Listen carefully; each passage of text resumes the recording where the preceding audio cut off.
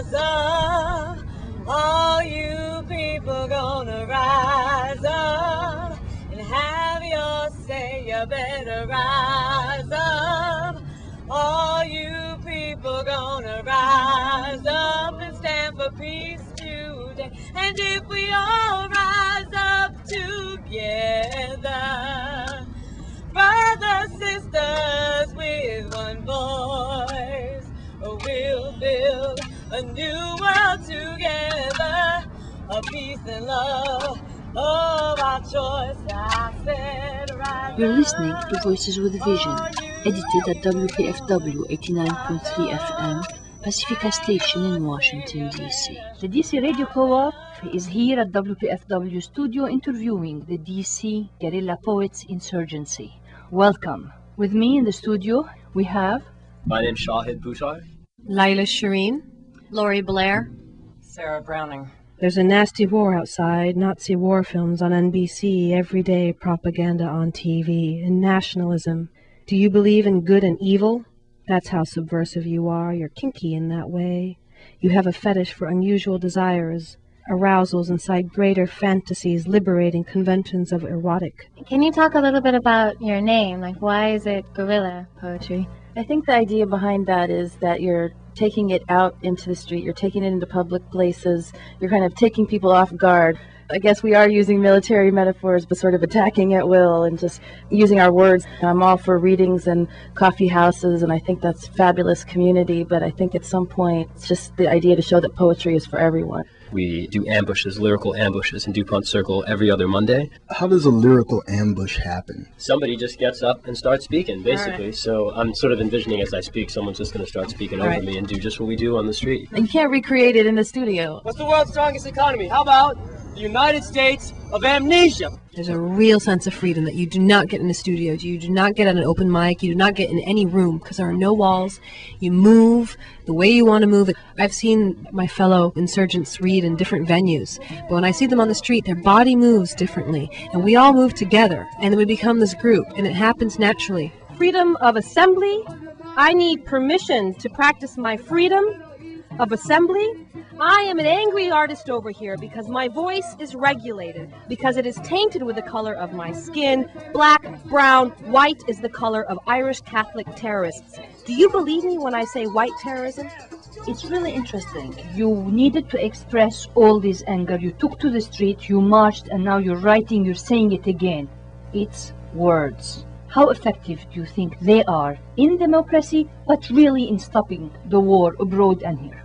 I do think people are listening, and it's just a question of getting out there and infiltrating these like six or seven media mongers to like put ourselves, you know, on a bigger map. I believe that words create our reality. I believe that words also destroy our rea- reality. I am Arab, and we are all Palestinian. Trans global, transnational, post national, trans post Palestinian. We are all Arab, nomads, moving across the internet, shifting between languages. In Tangier, in New York, in Amman, in DC, displaced in diaspora, untold, unknown, present day, Baghdad was bombed. I am American, fractured and young, but not anymore. It's 2003 and I am 31. Transcend the binary. Allahu Akbar. In the form of love. Muhammad Rasulallah. Command your language. Command your language. That's creation.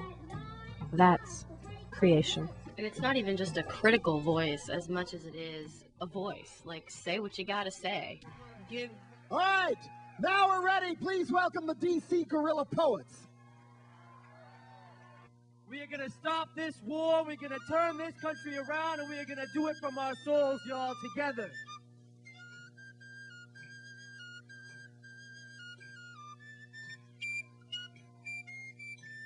For Voices with Vision, this is Desmond Leary. And this is Ellie Lawton. We have The DC Guerrilla Poetry Insurgency. Shahid Buttar, Sarah Browning, Leah Harris, Laila Shereen, and Laurie Blair.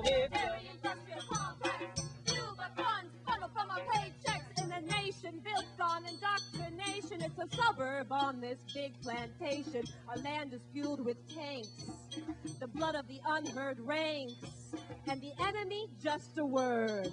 When lifestyles are killing, brother, it's absurd. The energy we'll use is consume our Mother Earth and our SUVs and polluting TVs. If you trace the connections, there's a maze of intersections. They can't claim this war as just as noble amidst all this outrage that is truly global. War on terror, war on drugs, perpetrated by the same circle of thugs. We got a prison military industrial complex, fueled by our War on terror, war on drugs, perpetrated by the same circle of thugs. We got a prison military industrial complex, fueled by funds, funneled from our paychecks. Peace!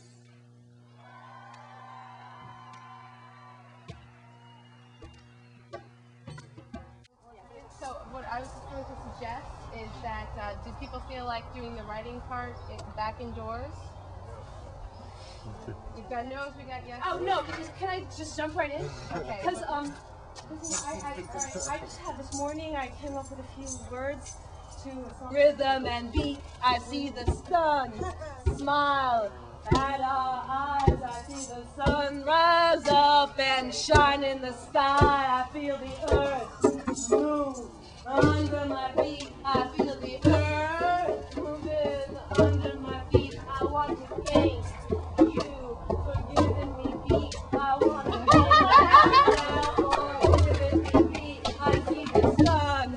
up, skies in the sky. I see the sun rising and smiling at us. I see the feel the earth move under my feet. I know the earth.